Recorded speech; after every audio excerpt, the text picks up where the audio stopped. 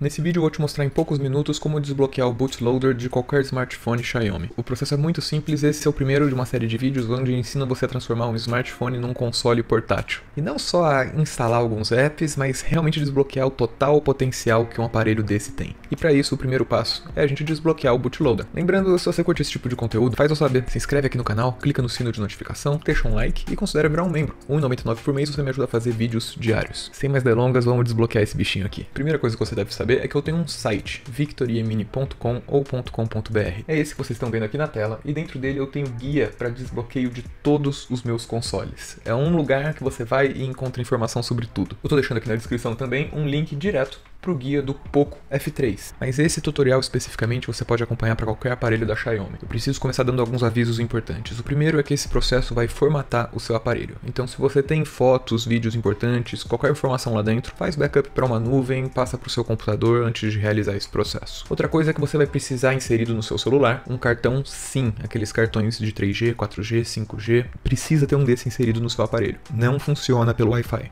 E o último aviso, muito importante, você precisa de um PC Windows. Eu não tenho um PC Windows, eu tenho aqui um Mac e eu vou tentar com ele numa máquina virtual. Avisos dados, vamos para o primeiro passo, que é navegar até Settings. Para isso, arrasta de cima para baixo e agora clica na engrenagem. Aqui dentro, clique em About Phone e agora clique em MIUI Version 7 vezes. 1, 2, 3, 4, 5, 6, 7. Continua clicando até aparecer lá embaixo. Você agora é um desenvolvedor. Podemos voltar uma vez. E agora, novamente em Settings, a gente vai descer até Additional Settings. Aqui a gente vai até lá embaixo em Developer Options, que a gente acabou de liberar, e aqui a gente vai ativar duas coisas. primeira delas, OEM Unlocking, coloca o seu PIN. E agora essa opção aqui de baixo também, USB Debugging. Ativa ela, espera agora 10 segundos, clica em aceitar e OK. Agora a gente precisa desconectar do nosso Wi-Fi, arrasta de cima para baixo e desconecta do Wi-Fi e certifica que o mobile data está ligado. Ainda aqui em Developer Options, a gente procura agora Mi Unlock Status. Clica nele, agora aperta Agree, Add Account and Device, está preparando a conta, foi adicionado com sucesso. Se você tiver qualquer problema, talvez você tenha que reconectar a sua conta Xiaomi que está lá em Settings.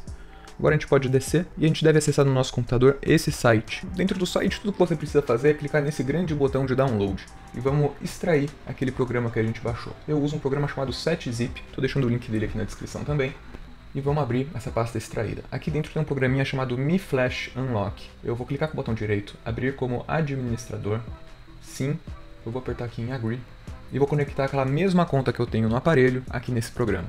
Ele deve enviar um número de verificação para o seu aparelho e pronto. Ele já está dizendo aqui que a gente não está conectado no aparelho ainda, está na hora da gente desligar o aparelho. Eu vou segurar aqui na lateral, vou desligar, desligar, eu vou ligar ele novamente, mas dessa vez segurando o botão de volume menos. Então apertando os dois botões simultaneamente e segurando. Você deve ver a mensagem Fast Boot aparecendo aqui dentro dele. Eu vou agora conectar ele num cabo USB-C que está conectado no computador. Esse primeiro cabo que eu conectei ele não reconheceu, então eu peguei o cabo original que veio na caixinha dele e pronto, já reconheceu aqui no computador. Se por acaso não reconhecer, ali no meu guia escrito tem um passo a passo de como instalar os drivers. Basicamente nessa mesma pasta onde a gente tem o Mi Flash Unlock, a gente tem também aqui o driver install, mas a gente não pode diretamente instalar ele. Clica com o botão direito em This PC, clica em Manager, depois clica em Device Manager, deve aparecer uma lista e nela deve ter Other Devices, clica duas vezes em Android, seleciona a opção Update Driver e agora a opção Browse My Computer for Drivers.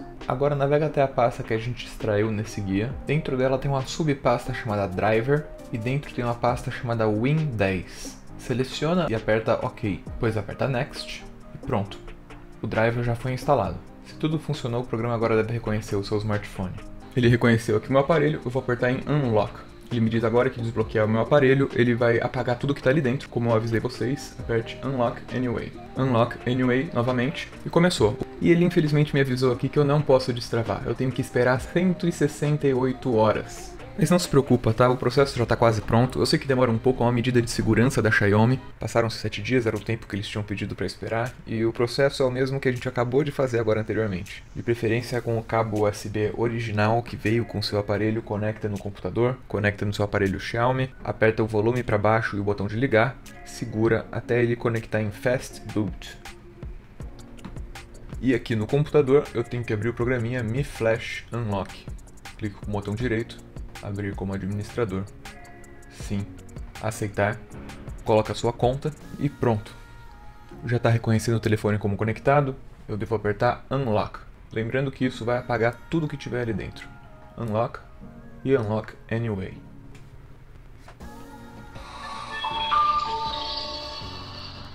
Ele reiniciou automaticamente, nosso bootloader está desbloqueado. Agora a gente pode instalar Twerp, fazer root, instalar uma custom ROM, que no meu caso vai ser a Corvus OS, overclock e começar a instalar os nossos emuladores para jogar na maior performance possível. Eu vou gravar todo esse processo e fazer vídeo assim como vocês acabaram de assistir. Então se você quer acompanhar essa jornada, se inscreve aqui no canal. Aqui na descrição tem uma playlist com todos os vídeos em ordem. Clica no sino para não perder nenhuma notificação. Deixa o like. Muito obrigado por fazer parte dessa jornada. Meu nome é Victoria Mini como sempre. Eu volto no instante.